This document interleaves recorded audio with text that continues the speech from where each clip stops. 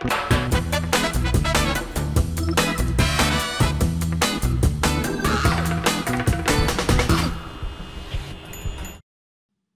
Herzlich willkommen, liebe Zuschauer, zu Unser München, Ihr Servicemagazin rund um die Landeshauptstadt. Das neue Ausbildungsjahr hat in den städtischen Betrieben begonnen, zum Beispiel auch bei der Stadtsparkasse München. Die Plätze dort sind äußerst begehrt, denn gerade Bankkaufmann oder Bankkauffrau sind und bleiben Berufe mit Zukunft. Fakt ist, mit knapp 2300 Mitarbeitern und 265 Auszubildenden gehört die Städtische Bank zu den größten und beliebtesten Arbeitgebern in der Landeshauptstadt. Er ist immer spannend, der Start in einen neuen Lebensabschnitt. Hier bei der Stadtsparkasse München haben nun exakt 100 junge Menschen eine Ausbildung zum Bankkaufmann oder zur Bankkauffrau begonnen. Dauer zwei bis zweieinhalb Jahre. Aufgeregt, aber ich glaube, das ist ganz normal, dass man da beim ersten Tag aufgeregt ist. Aber ich freue mich natürlich. Ich habe mich für die Stadtsparkasse München entschieden, weil es einerseits eine sehr beständige Bank ist. Ähm, die gibt es ja schon sehr lange. Es ist eine sehr große Bank. Da sieht man natürlich die Möglichkeiten zum Beispiel der Weiterbildung. Die sind viel größer. Dann außerdem finde ich die Projekte, die die Stadtsparkasse unterstützt, toll. Beispielsweise in Sachen Bildung oder Kultur. Also ich bin sehr nervös, muss ich ehrlich sagen. Aber ich freue mich auch riesig, dass es jetzt endlich anfängt. Ich habe mich bei der Stadtsparkasse beworben, weil sie eben eine sehr große Bank ist, eine sehr zuverlässige Bank und weil sie neben den zusätzlichen Sozialleistungen auch einen sehr guten Umgang mit Kunden pflegt. Die neuen Azubis hier können aus drei Ausbildungsrichtungen wählen. Klassisch Bankkaufmann oder Bankkauffrau, duale Berufsausbildung mit Fachhochschulreife für ein späteres Studium oder duales Studium, also BWL und parallel Ausbildung bei laufendem Gehalt. Am Anfang ist man dann auch in den ersten, also im ersten Jahr eigentlich nur am Schalter und schaut halt, dass man dem Kunden am Schalter helfen kann, sei es jetzt mit Geld ein- und Auszahlungen oder dass man halt auch schaut, was der Kunde braucht. Später dann, je länger man auch dabei ist, umso mehr geht man dann in die Tiefe, auch Beratungsgespräche, dass man dann mehr mit dem Kunden alleine zu tun hat und auch intensiv auf den Kunden eingehen kann. 960 Euro Gehalt bekommen die Auszubildenden im ersten Jahr. Dazu eine Option auf eine betriebseigene Wohnung zu vergleichsweise günstigen Konditionen. Und Mietzuschüsse von monatlich bis zu 200 Euro. Wir, die Stadtsparkasse München, sind die fünftgrößte Sparkasse Deutschlands, die größte Bayerns. Also wir haben ein umfangreiches Programm und nach der Ausbildung gibt es ganz vielfältige Karrieremöglichkeiten. Man kann im Vertrieb erfolgreich sein, man kann sich Richtung Führungskräfte weiterentwickeln, man kann aber auch in Gesamtbanksteuerung, in Treasury, ähm, interne Abteilungen. Aber das Wesentliche in unserem Beruf meines Erachtens ist, dass wir einfach mit Menschen zu tun haben und das macht einfach Spaß. Auch nach der Ausbildung gibt es bei der Städtischen Bank vielfältige Möglichkeiten zur persönlichen und beruflichen Weiterentwicklung. Eine Übernahme ist durchaus möglich. Es ist so, dass unsere Azubis, wenn sie eine gute Leistung erbringen, das heißt einmal natürlich engagiert in ihrer Ausbildung sind, aber dann einen Mindestschnitt von 2,5 bei den Noten haben, werden dann auch übernommen, also haben einen sicheren Arbeitsplatz bei uns. Nach oben schauen bitte. Die Ausbildungsplätze bei der Stadtsparkasse München sind äußerst begehrt. Für jede Stelle gibt es durchschnittlich fünf Bewerbungen. Revolutionär und Ministerpräsident. Die Kurt-Eisner-Ausstellung im Münchner Stadtmuseum ist soeben verlängert worden. Die biografische Darstellung bildet nur den Auftakt zu einer ganzen Reihe von Veranstaltungen, mit denen die Landeshauptstadt München in den nächsten beiden Jahren den historischen Ereignissen der Revolution nachspüren wird. Ein Idealist, ein Utopist, ein fortschrittlicher Mann der Tat. So wird der erste bayerische Ministerpräsident von vielen heute noch gelobt. Im November 1918 proklamierte Kurt Eisner die Absetzung des Hauses Wittelsbach und die Gründung der Bayerischen Republik. Damit ist der gebürtige Berliner der Urvater des Freistaats Bayern. Die Idee dieses Namens äh, geht ja zurück auf eine Befreiung einer äh, autoritären Kaiserreichsstruktur, das ist zunächst mal übrig geblieben. Dann natürlich die Ausrufung der Republik, das heißt also die Abstreifung eines feudal- und imperialistisch feudalen strukturierten Staates und das verbindet man mit Eisner oder sollte man zumindest verbinden. Und natürlich ist übrig geblieben auch der Gedanke, was wir heute als Basisdemokratie verstehen. Gegen abgehobene Volksvertreter. Kurt Eisner stand für keine von oben nach unten gedachte Politik, sondern für einen Parlamentarismus, der von unten nach oben läuft. Rund 500 Objekte zeigt die aktuelle Ausstellung im Münchner Stadtmuseum, die zum 150. Geburtstag des charismatischen Publizisten und Politikers konzipiert wurde. Allerdings, die Regierung des Sozialdemokraten dauerte nur 100 Tage. Hier ein Foto, das nur wenige Augenblicke vor seinem gewaltsamen Tod in München entstand. Gestorben ist er, weil ein nationalistischer Offizier, Graf Akor auf Wallai, ihn auf dem Weg, als er zurücktreten wollte, am 21. Februar 1919 äh, über die Straße ging mit seiner Frau und äh, seinem Ministerunterleitner auf dem Weg in den Landtag, weil dort Graf Akko sich verborgen hatte und ihn erschossen hat. Hier ein Trauermarsch fünf Tage danach. Die Ausstellung im Münchner Stadtmuseum ist bis 14. Januar 2018 verlängert worden. Und es wird in den kommenden Wochen und Monaten noch mehr Veranstaltungen geben, bei denen Kurt Eisner gedacht wird. 100 Jahre Freistaat feiern unter anderem die bayerische Staatsregierung, diverse Archive und Münchner Stadtteile. Wenn der Sommer manchmal aussetzt, dann muss die Sommerlaune noch lange nicht leiden. Die Stadtwerke München haben dafür ein Spitzenmittel und das übrigens für jedes Wetter. Das Westbad in Pasing, Münchens Familien- und Freizeitbad Nummer 1, bietet Sport und Spaß und auch eine gehörige Portion Wellness und Entspannung.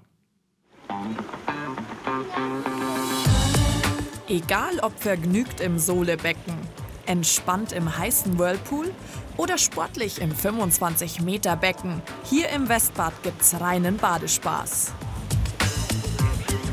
Die ganze Umgebung, das Umfeld im Bad hier drinnen dann, da man viele Möglichkeiten hat, dann mal Sprudelbad, mal Langschubschwimmen, das Solebad draußen dann, finde ich ganz fantastisch. Es ist wunderschön und es ist gut zu erreichen und äh, die Uhrzeiten, die Öffnungszeiten sind wunderbar.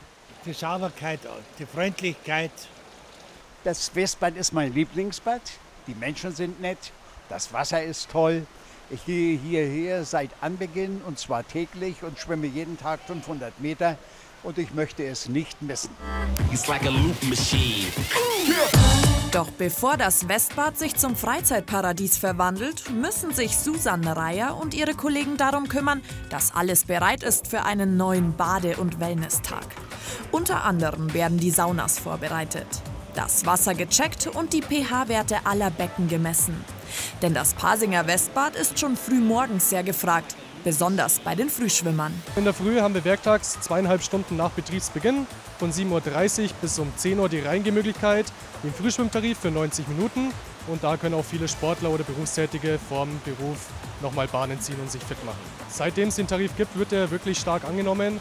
Die Leute können das nutzen. Mit drinnen haben wir werktags noch unsere kostenlose Wassergymnastik, diese von 9.30 Uhr bis 9.50 Uhr ist und da kommen alle zusammen und haben noch zusammen Sport.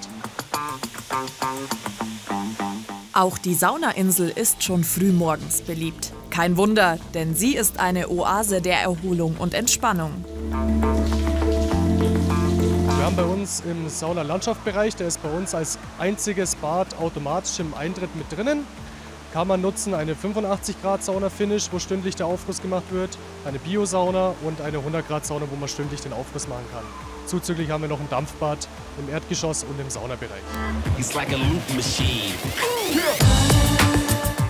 Am Nachmittag stehen dann aber eher Rutsche, Strömungskanal und Whirlpool im Mittelpunkt. Und gerade an kühleren, regnerischen Tagen gibt es dann auch noch das besondere Westbad-Special mit Blick auf den Freibadbereich. Das heiße Außenbecken mit echter Bad Reichenhaller Sohle. Das ist gut und tut gut.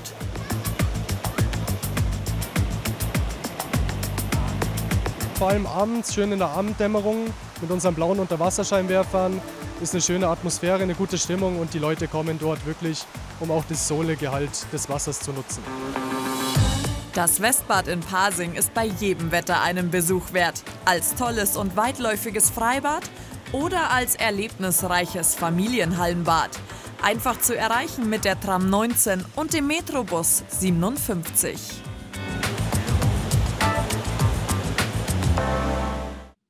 Rund 110 Konzerte haben die Münchner Symphoniker in der kommenden Spielzeit geplant. Neben den üblichen bekannten Komponisten wie Mozart, Beethoven oder Brahms stehen aber auch viele nicht so häufig gespielte Namen wie Bernd Alois Zimmermann oder Viktor Ullmann auf dem Programm. Zum Saisonauftakt erscheint nun auch eine neue CD, die die Musikgeschichte ein Stück weiterschreibt. Inwiefern sehen Sie in einem Sommerschwerpunkt in unseren Veranstaltungen.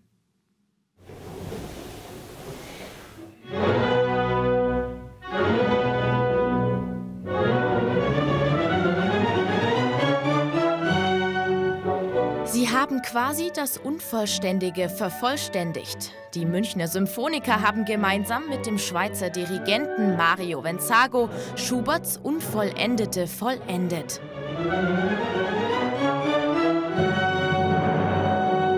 Da war es so, dass wir hier äh, mit den Münchner Symphonikern in mehreren Abo-Konzerten so diesem Schubert-Klang auf der Spur waren. Ich habe gemerkt, das ist was, was dem Orchester unglaublich liegt und da lohnt es sich, noch weiter dran zu arbeiten. Und dann kam es äh, wirklich zu einer sehr glücklichen Fügung, dass ein Kollege von mir mir Material gegeben hat und gesagt, schau hier mal rein, ich habe äh, die Unvollendete vollendet.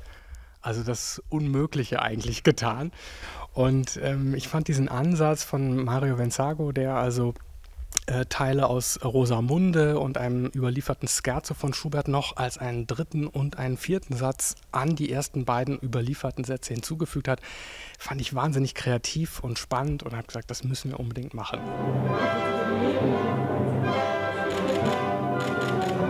Das Ergebnis erscheint am 20. Oktober auf CD Herausgegeben von einer Münchner Plattenfirma, die in den nächsten fünf Jahren zwei bis drei Alben der Münchner Symphoniker pro Jahr herausbringen will. Wir haben einen sogenannten Labelpartner, das heißt, wir veröffentlichen unter dem Label Solo Musiker, werden aber ein ganz eigenes Erscheinungsbild haben, was also unverwechselbar ist. Man sieht also sofort, wenn man die CD in der Hand hat, das ist aus dem Hause Münchner Symphoniker. Das heißt, wir können eigene Inhalte da sehr, sehr gut kommunizieren, können unsere Klangvorstellungen tatsächlich auch umsetzen und ich sag mal, sind Herr des Verfahrens und haben in Solo Musiker halt einen tollen Partner gefunden, der mit uns auch diesen Weg so mit uns mitgeht und äh, unsere Vorstellungen da sehr unterstützt. Das Label veröffentlicht seit 13 Jahren Orchester- und Kammermusik, World Music und Jazz mit weltweitem Vertrieb. Schuberts siebte Symphonie in H-Moll, die unvollendete, die hier nun ergänzt wurde, passt exakt ins Repertoire. Das Faszinierende ist, dass äh, diese Schubert-Symphonie quasi einem Requiem gleicht, weil man sagt, äh, das war so fast sein letztes großes Werk, das er aufgenommen hat. Und viele Dirigenten äh, ähm, lieben es, diese, diese, diese Tempis, die äh, diese ersten zwei Sätze hat, wirklich wiederzugeben. Äh, und man kann wahnsinnig viel am Klangkörper und am Orchester arbeiten, um diese Symphonie wirklich, wie soll ich sagen, zu verinnerlichen.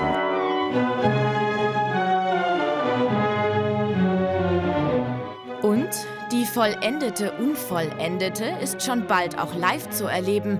Am 25. Oktober im Herkulessaal und am 26. Oktober im Prinzregententheater.